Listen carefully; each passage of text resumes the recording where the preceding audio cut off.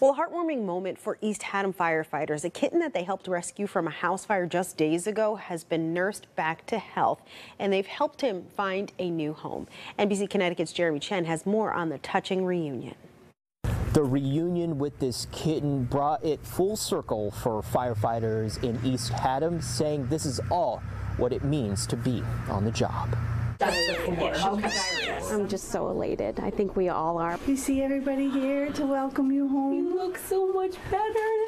A touching reunion for East Haddam firefighters seeing the month-old kitten they helped save.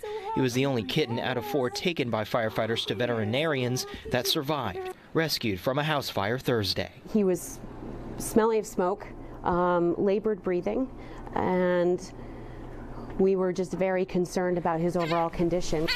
Firefighters named the kitten Soot and were grateful for the veterinarians that cared for him. I attribute a lot of this guy's um, thriving here to the initial care that we were able to give him at Munisvet.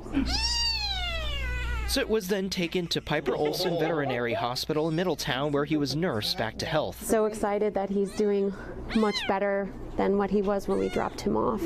When we left him here on Thursday, he was in quite the dire straits, um, but also served as a beacon of hope for our little community. Hope that's welcome to a profession that can have difficult moments. As first responders, we all know that it is just the nature of our job is difficult, and when we have our wins, we celebrate our wins, and this little guy's a win.